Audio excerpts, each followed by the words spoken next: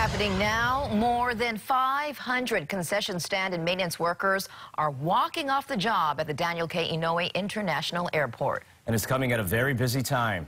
Dallas Ontiveros joins us live from the airport with more details. Morning, Dallas.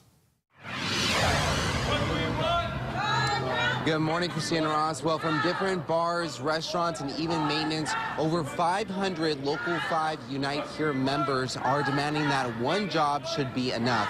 And here joining us on Wake Up today, we have Rosalie Mendoza, who's a Waikiki resident and works in the pantry department. Good morning, Rosalie. Good morning.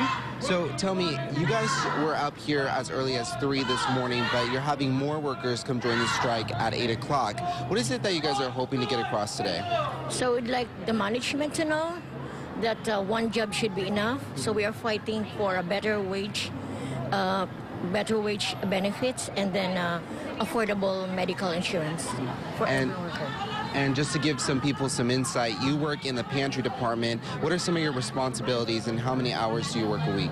So I work eight hours at the pantry. So we make sandwiches and salads for the stores of HMS hosts, specifically for the Starbucks. Okay. And then I know there were some recent negotiations last week, but did anything come out of from what was discussed?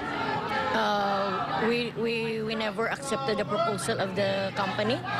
So we'd like the company to understand that we uh, are uh, uh, we are worth more than the, the proposals that they are giving us. And you know, we are in the holiday season, and with this strike going on, is it going to affect, you know, not just you guys, but people who are going to be coming here in the airport, uh, whether they're flying or arriving here? So we'd like the traveling public to understand that uh, we are having uh, this strike to convey a message. One job should be enough. But uh, the travelers should also be confident that they will not be affected by, by the strike.